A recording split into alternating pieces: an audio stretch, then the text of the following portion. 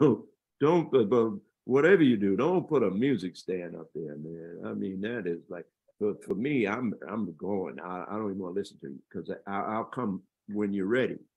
When you're Mm. ready, listen to you. Hmm. Oh man, wow. I don't care Thank how hard the music is. I don't care how hard, don't tell me, oh, this is some hard music, I only learned it this morning. Then that's what you do. You know, or either say, I don't want to play this song.